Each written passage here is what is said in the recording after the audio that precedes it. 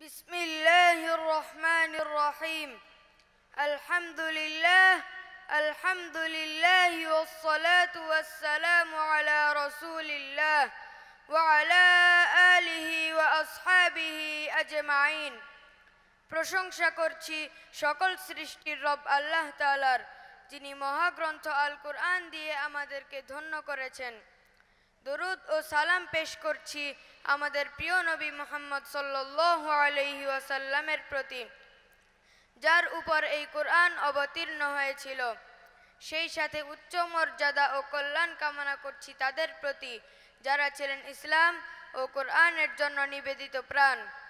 তানজিমুল উম্মা ফাউন্ডেশনের উদ্যোগে আয়োজিত দশম হিফজুল কোরআন অ্যাওয়ার্ড প্রদান অনুষ্ঠানের সম্মানিত সভাপতি সম্মানিত প্রধান অতিথি, বিশেষ অতিথিবৃন্দ সাংবাদিক বৃন্দ, শ্রদ্ধেয় শিক্ষক ও অভিভাবক মণ্ডলী, তানজিমুল উম্মা পরিবারের সদস্যবৃন্দ এবং একান্ত প্রিয় অগ্রজ অনুজ শিক্ষার্থী বন্ধুরা, আসসালামু আলাইকুম ওরহমতুল্লাহি বরকাত সম্মানিত উপস্থিতি মহান আল্লাহ তালার মেহেরবানিতে আমরা কোরআন হিফজ করতে সক্ষম হয়েছি, আলহামদুলিল্লাহ। যার স্বীকৃতি স্বরূপ আজকে আমরা এখানে অ্যাওয়ার্ড গ্রহণ করার জন্য সমবেত হয়েছি। এই মনোমুগ্ধকর আয়োজনে আমরা অত্যন্ত আনন্দিত, উৎসাহিত ও অনুপ্রাণিত। কৃতজ্ঞতা সবসময় আমাদের গর্বিত পিতামাতার প্রতি।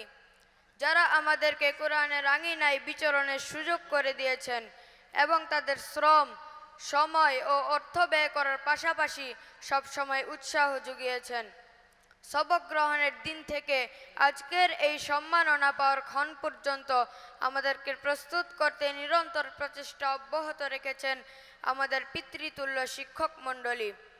তাদের অবদানের বিনিময়ে আল্লাহ তালার কাছে উচ্চ মর্যাদা কামনা করছি। এছাড়াও পরিবার পরিজন এবং আত্মীয় স্বজনের প্রতি কৃতজ্ঞতা পেশ করছি। তানজিমুল উম্মা ফাউন্ডেশন আমাদেরকে সাধারণ শিক্ষার সাথে জাতীয় ও আন্তর্জাতিক মানসম্পন্ন হাফেজে কোরআন হিসেবে গড়ে তোলার লক্ষ্যে বিভিন্ন ধরনের পদক্ষেপ বাস্তবায়ন করে আসছে। সেজন্য তারও সুক্রিয়া আদায় করছি। আশা করি তানজিমুল আমাদের জন্য আরও যোগোপযোগী পদক্ষেপ গ্রহণ করবে ইনশাআল্লাহ।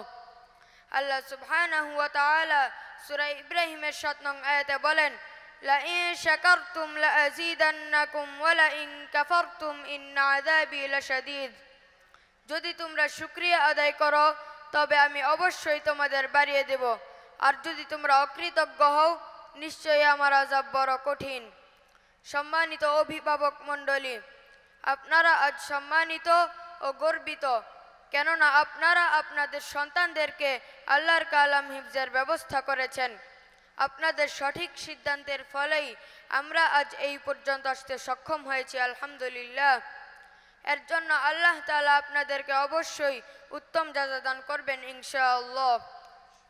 এ বিষয়ে যেমনটি নবী সাল্লাল্লাহু আলাইহি ওয়াসাল্লাম বলেছেন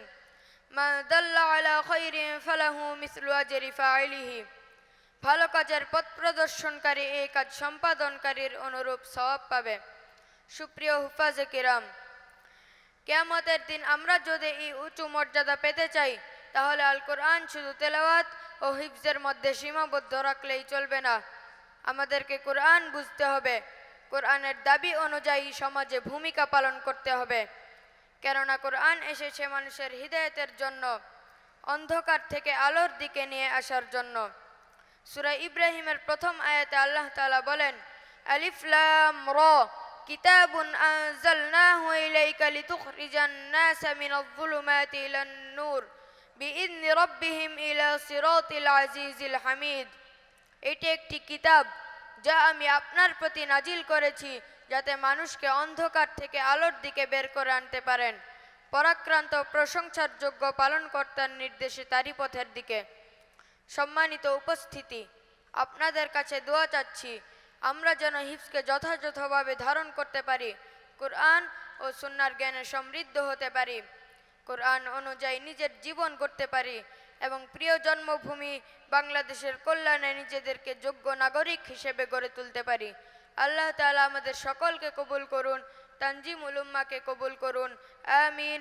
আসসালামু আলাইকুম রহমতুল্লাহ বরকাত